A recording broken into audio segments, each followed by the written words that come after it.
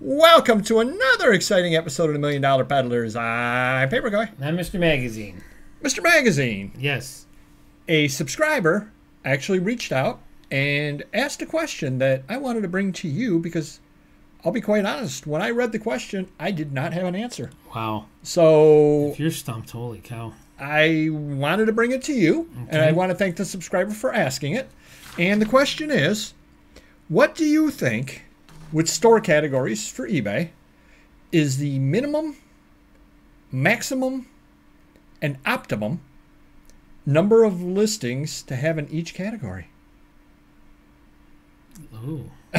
So, exactly. That know, was pretty much well, my exact reaction. I'm different than everyone else because I have 200,000 listings. So we maximize all 300 categories. All right. Well, let's say let's say the right, right. But let's say that they suddenly open it up to 500. Yeah. You know, whatever. So you had some spare categories available to you. Yeah. What would like? When do you form a new category? When do you split off a new category? Well, I think, is it 5,000 that you can use in a category or is that changed?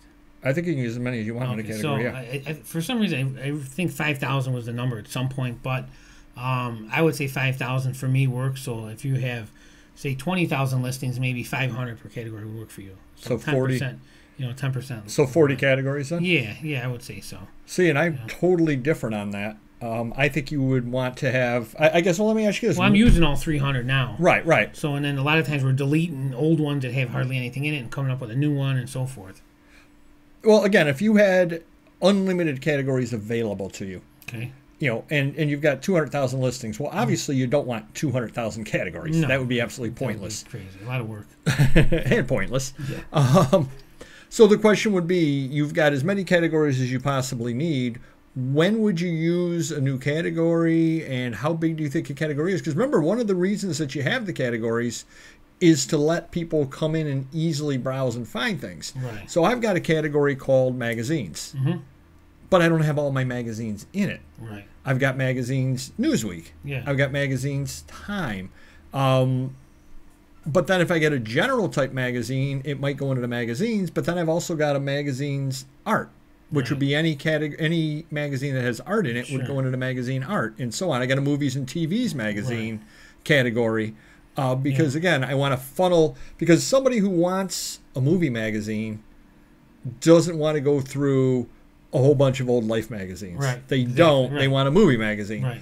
Uh, I've got a car magazine category because obviously somebody wants a car magazine Sure. and so on. So Yeah. I guess my question is when, like, you could, if you wanted to, have all 300, you know, you know, 299 categories that are all different magazines and one Mm-hmm. Right. that's other. Yeah. When is it overkill and when do you really want to do the, the breakdown like that? Well, sadly, we were better with our stores before we went to the new warehouse. Um, we kept up on them better, meaning, for some reason, I think they would limit you to five thousand per store category. Like you, anything over that wouldn't show up. So we were stopping at five thousand. So say we did have a car magazine category, and it was at five thousand and twelve. We would start a new car mag, or we would call it Motor Trend, or whatever collection came in. We would make a specific category for that, and we kept up on it better when we had a handful of employees, and we can keep up with it. Since we got the new warehouse, we're kind of like you, but not on purpose. We're like we have a magazine category, and then we have you know maybe fifty other subcategories with different magazine titles. So if an employee puts it in the wrong category, it's going to be in a magazine category, either the you know the basic. well, what word do you want to use? Just magazine, Mm-hmm. or you know if they don't catch the specific one, you know just like Hot Wheels, we have a diecast category and a Hot Wheels category. If they're listing Hot Wheels and they don't realize Hot Wheels is there, it's still going into a diecast category. Right, You okay, know, so makes we, sense, we have yeah. multiple options. Just that, you know, we got action figures, but we also have Star Wars. We also have He-Man, wrestlers. You know, we have wrestling Mm-hmm. magazines, but we have wrestling figures. So um, they're not going to put it in a bad or wrong category. They may not put it in the most optimum one. Okay, right. But um, they're going to put it in one that makes sense at least, you know. And then, in my opinion, a lot of people don't use this. A lot, I don't feel a lot of my customers use the store category because we have so many of them. They may just say, "Hey, type in Life magazine under my listings," you know, and Right, you're going right. to get everything that way. Where, geez, he's got 300 categories, and I don't know how to make them in order. Like they're not alphabetized, so I don't know if there's a way of doing that. But if a buyer sees it that same way that I see it, they're going to go, I don't know what's here. They're not going to look through all these, you know, it's, it's overwhelming. And I think more than 50 is probably overwhelming, or maybe more than 20 for some people. If they're looking for something really specific and they see a bunch of, you know, things that aren't what they're looking for, they may just pass and go to someone else, or just hey, I want to just type in Life magazine. No, that makes sense, and I guess I hadn't really thought. I guess I guess it, it comes down to two what you sell. I mean, if I literally just sold sports cards, mm-hmm. you know, great 1960 older sports cards. Yeah. 1964 Topps football, 1964 Topps baseball, and you could have it organized by that, and you certainly could end up, you know, and then you get some oddball teams, thing. you know, Yankee cards, you know, Dodger cards, whatever. Um, you get you get into something or other like a T206, you just literally have a tobacco cards category. Right. Because I've got two T205s and three T206s and one T207. I don't want a category for all of those. I can just lump those into what we call tobacco cards. Yeah. And somebody that comes in and finds the older cards would be able to find those. Now, can you still do subcategories if you wanted to, like tobacco cards? Then you click on it, then there's subcategories. Yeah, you can- you can still do that, yeah. we've never done that ever, so I, I think that just makes it more for the buyer to confuse them. To be honest with you, even though it's more specific, you know, it's just one extra click they got to get into and stuff. So Yeah, and so I I guess I probably should go and take a look. Now, the way that I had always, okay, let me ask you this. Um, not exactly what the subscriber had asked, but uh, what order are your store categories in and why? Uh, at, one point we have alphabetized, but I think over time it's just gibberish. It's just all over the place now. So it was anything numbered. So I think we had well, we did usually have adult stuff, so that would be first under A, and then we did have it alphabetized, but for some reason now we can't alphabetize it. So I don't know if it's a glitch or not, but um, that would be the way to go for us because then it's easier to scroll down and see what you're looking for. Or when we run our sales with our store categories, it'd be easier to find the ones that are if they're alphabetized to get to what you want to put on sale. Where now I can't get them in any order. So I just do just you know blanket groups of ten thousand listings from store categories and put them on sale.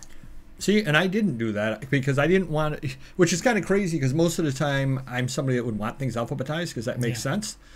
I didn't do that, and the reason why is because I ended up putting what I thought were the biggest categories, the categories that have the most listing slash action in, up near the top.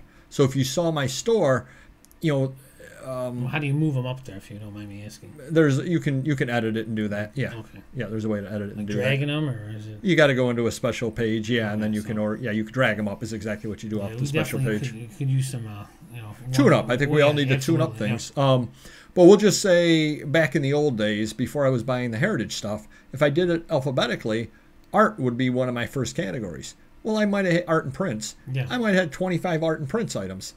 I wouldn't want that to be one of my first Yeah. categories, uh, just because Yeah, you know, or I may have. Um, I try to keep the magazines grouped together, but then you're only allowed a certain number of characters uh, on your magazine or on your title. yeah, I have Saturday Evening Post. I can't say magazine sl- dash Saturday Evening Post, so I have Saturday Evening Post. yeah. I think we got to that point where we're just doing uh, mag. If if mag fit, we did mag dash. Yeah, mag. Yeah. So mine literally says Saturday Evening Post. Well, that's down near the bottom alphabetically, but I would want it in my magazine area of the of the story categories. Right. Or like I have sports cards and I have non-sports cards. Well, they wouldn't be near each other alphabetically, but I would want them near each other um, when you go into my store. Sure. Uh, so yeah, and it's probably been ten years since I tweaked them. I probably need to look in there and take a look and see what I need to move around. Um, good question though. It's definitely got debate and it's definitely got me thinking another thing to do. Since we're Yeah. still on this topic, Of course. has it been proven that these store categories help increase your sales or help make the buyer experience better and quick and easier for the buyer? No, I mean not that I'm aware of, but logically it would. You know, logically people use them. Like Yes. I've, I've never. Do you ever use them? I've never Yeah. used them. You do use them? I do use them. Yep. Um, mainly if if I go into somebody's store back when they had eBay Bucks, bring those back. Back when they had eBay Bucks, and I was working on a card set. If I went into a dealer's uh, store and I'm working on a 1965 Topps football card set, I go into his 1965 football thing, and then I just search in there. So for something like that, I think it works really, really well. Or typing Oh. in 1965 Topps football in his searches, Yeah, which is what I do. you could do that too. You could do that too. Well, let me ask you a question: How many like new eBayers even know to do that with a store where us veterans would know that? So you, it might be 70-30, 50-50. So you know, half the people may not even know it exists or to, what is this over Or how to find it, right. Exactly. Well, I guess my thought is if if even one person can find it, Yeah, I mean it can't hurt. right? Yeah. Exactly, exactly. that was a good uh, good discussion. So ultimately, there's no right or wrong answer to that. I mean, obviously, you don't want to set up a store category with one item in it. Um, Well, it's making me get to my employee and say, hey, let's fine tune this this week. yeah. You know, and again, you don't want to have just one item in it, but you also don't want to have 50,000 items in it if possible. Um, Yeah. I guess it would be the only way I would have one item in there would be if I pick up a big collection and I know I'm going to be listing more stuff into it. And so I get it started and I get one item in, and then next week I'm list it, 20. Because then you could just you know, just stay in. If it's hundred of something, you can sell it. Just keep keep it in there. Keep it in there, yeah. Yep. So hopefully that helps a little bit. Didn't exactly answer your question, but we definitely do enjoy the uh, the fact that you asked us that because again, it's a little food for thought and gets us talking over here. And uh, if you could comment down below about your experience with the store categories and if you think they help or not, uh, definitely wondering about that. Hit the like button if you could. That always helps. Uh, and if uh, you could do that, we'd appreciate it. And we will see you next video. Take care. Bye bye.